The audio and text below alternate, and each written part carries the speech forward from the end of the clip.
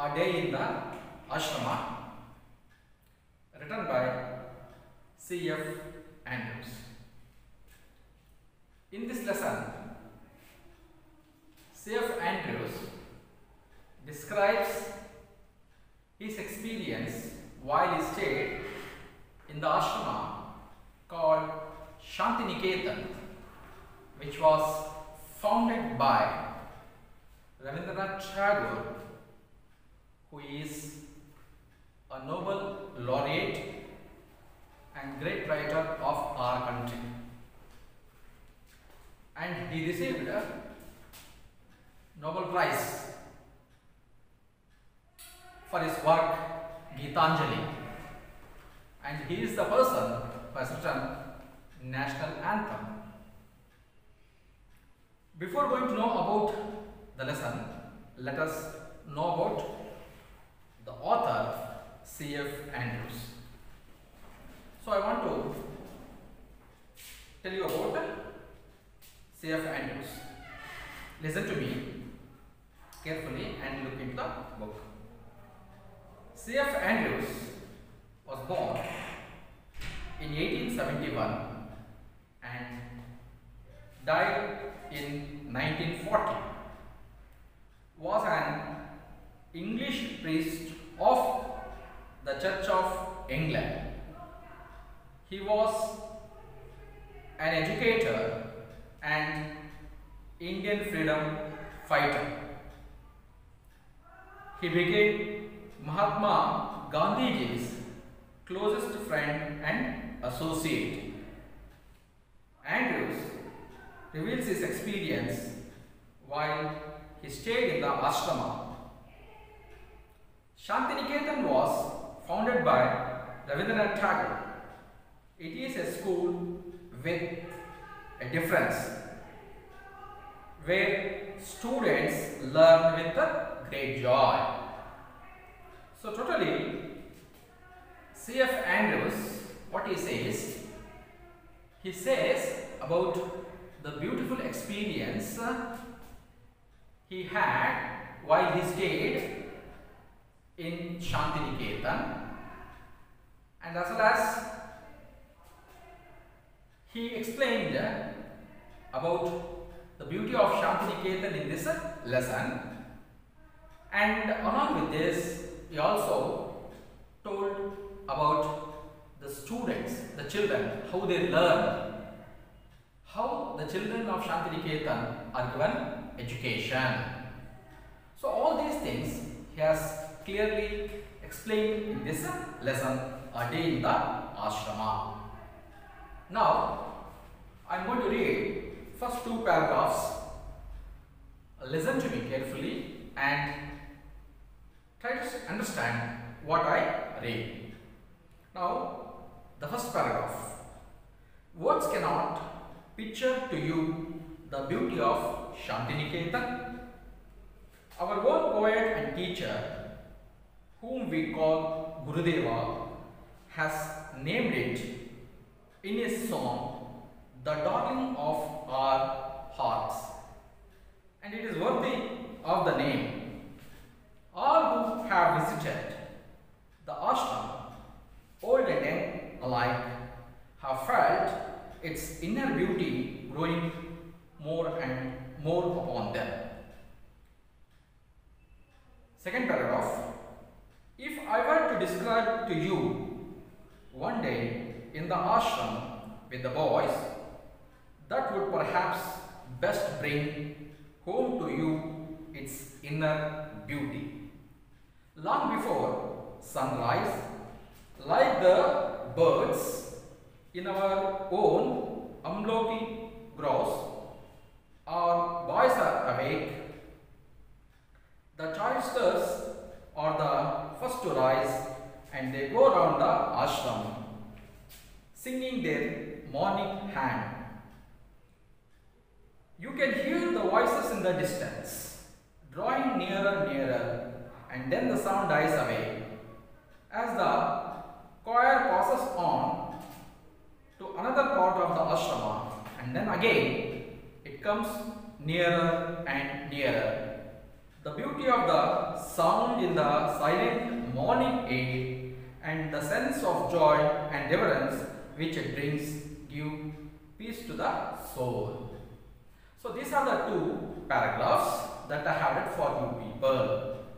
Now let us know the meanings of some of the difficult words that are given in the lesson that are given in the lesson. So for example, first one, choristers. Choristers means members who sing in the choir of a church. People who sing devotional song or prayer song in a church are known as choristers. Choir, a group of singers singing hand. Choir means a group of singers singing hand. So hand means a song of praise to God. A song of praise to God. Next one, reverence. Reverence means respect. Respect. So these are the some of the words, difficult words. Now let us also know about opposite words. Beauty. Beauty, it is a noun. So adjective form of beauty is beautiful. Opposite of beautiful, beautiful is ugly. Opposite of more is less. Opposite of worthy is unworthy. Opposite of first is lost. Opposite of young is old. Opposite of long is short. Opposite of near is far. Opposite of before is after. Opposite of sunset is sunrise is sunset. So there are some of the opposite words that you find in these two paragraphs. So now to explain you the first paragraph, afterwards the second paragraph. Words cannot picture to you the beauty of Shantiniketan.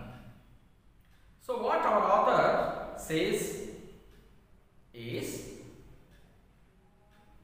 the beauty of Shantiniketan is not possible to describe in mere words.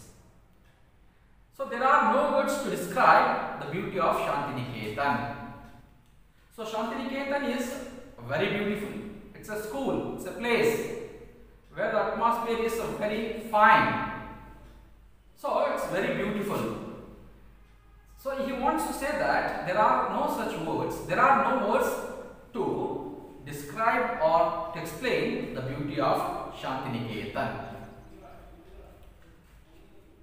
And he also says that our own poet and teacher, whom we call Gurudeva.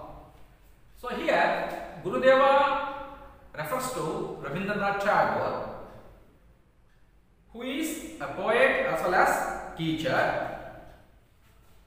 Rabindranath Tagore, whom we call Gurudeva, has written a poem. In that poem, he has mentioned Shantiniketan as as the darling of our arts.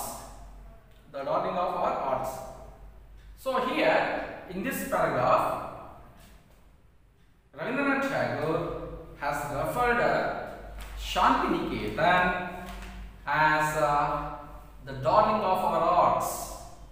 So that is the beauty of uh, Shantiniketan.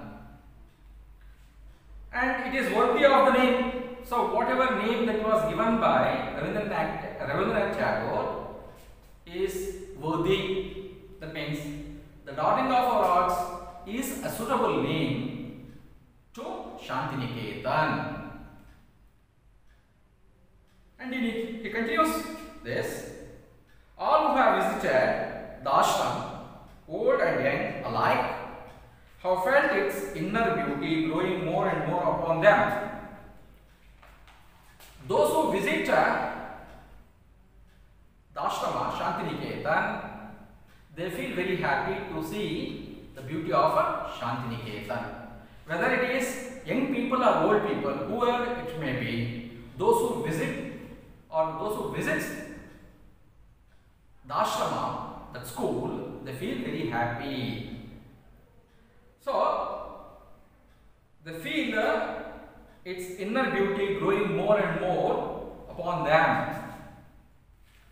So, even though they go home, they remember the beauty of Shantiniketan. They recall the beauty of Shantiniketan. So, in the first paragraph, C.F. Andrews has described about the beauty of Shantiniketan. Now, second paragraph. If I were to describe to you one day in the ashrama with the boys, that would perhaps best bring home to you its inner beauty.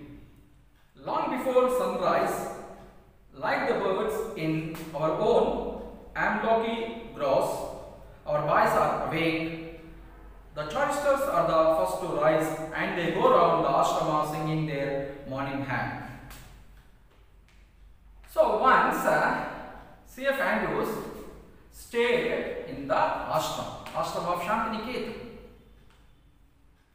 While he stayed in the ashram of Shantiniketan, he enjoyed a beautiful experience. So what he says, when, he, when while he stayed in the ashram with the boys, he enjoyed a lot. And he says that the boys of Shantiniketan, they get up early in the morning. Early in the morning, 5 o'clock in the morning. And he has compared the boys of Shantiniketan to the birds, to the birds that are found on trees called Amloki trees. Okay, so as the birds get up early in the morning, in the same way, the boys in the ashrama they get up early in the morning. So he has made comparison between the boys as well as the birds. So such a comparison is called simile. Simile, it is a figure of speech. Next, uh, the choristers are the first to rise. Choristers group of uh, singers. So they are the first people to get up early in the morning. So after getting up, what they do? They go around the ashram. So what they do? They go around the ashram. So while going, what they do? They sing their morning uh, hymn.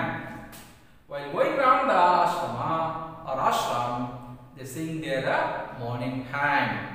So hymn means uh, it is nothing but a devotional song or a song of uh, praise to God. So they go around the ashram, they sing the song. So the beauty of the sound in the silent A. So early morning, early morning, you can find a, a very good uh, atmosphere, fantastic atmosphere, a silent, calm atmosphere which would bring a pleasure to mind. In such a atmosphere, these people, choristers, they go around the ashrama and sing, and as well as they sing the song, devotional song, prayer song. So the sound of that song brings brings peace to the soul, peace to the soul, and the people who hear the song, they feel the song. Uh? Okay, they feel the song, and they feel happy, happy, or they get happiness when they hear the song. So in this way, C.F. Andrews has explained the beauty of Shantiniketan as well as who are the first people to get up early in the morning. What do they do in the morning? The morning.